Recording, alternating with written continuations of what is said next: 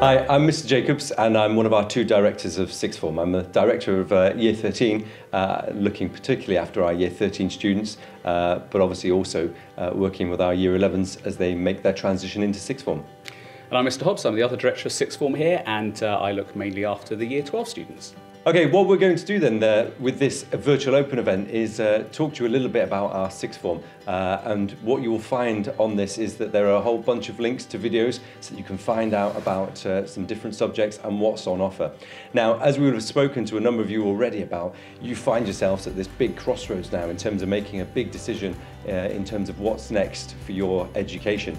Up until this point, those decisions have been fairly straightforward and fairly easy for you to make, but now you've got a whole raft of choices in front of you.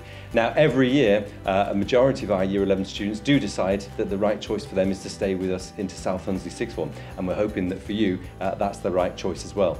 But what we do want you to do is to make an informed choice and make sure that it's the right choice for you.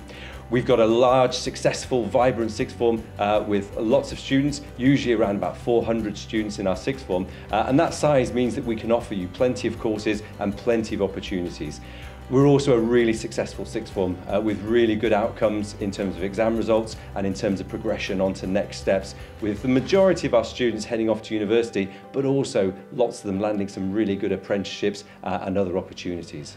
So um, after you've gone through the videos uh, of the different subjects information today, which is the key point about uh, this evening, the next thing uh, you'll need to be thinking about is making those choices on your options. So there are various things to, that we'll put in place to help you do that.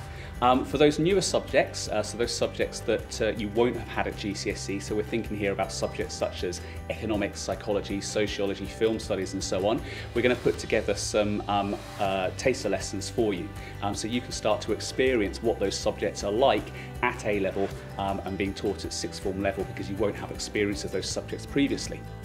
Also, uh, myself and Mr Jacobs, um, we're going to be uh, interviewing everybody that applies to us, um, just to have that conversation with you, um, to talk through your options, uh, check your combinations, answer any questions that you might have about the particular options or the combinations or where it can lead you in the future or just generally about uh, sixth form at South Hunsley um, as, as, as, somewhere to uh, come and study.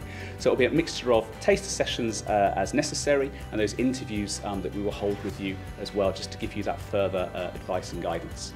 Now, what you'll need to do next, once you've gone through all the videos, maybe gone along to some taster lessons, is you do need to apply uh, to let us know that you're uh, planning on coming to South Hunsley Sixth Form. So even if you are a South Hunsley student, uh, and even if you've spoken to us and said, yep, I'm definitely coming, you do still need to fill in an application. Now, the easiest way to do that uh, is to click on the link on the uh, school website, uh, and there's an Apply Now button so that you can fill in that application form.